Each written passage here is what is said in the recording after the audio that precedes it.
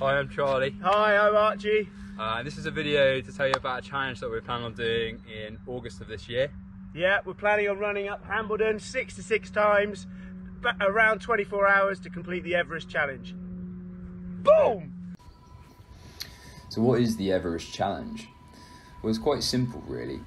Pick any hill anywhere in the world and run repetitions of it in one single activity until you have run 8,848 metres in elevation, the equivalent height of Mount Everest, the highest mountain in the world above sea level. So the hill we've chosen is the Hambledon Hill in Dorset, and we've decided to do this challenge for charity. The charity we've chosen is the Young People's Trust for the Environment, and this charity aims to give young people a real awareness of environmental issues such as climate change, pollution, and deforestation. These are issues we both feel very passionate about, and we really hope you can donate to this important cause. Let the training begin.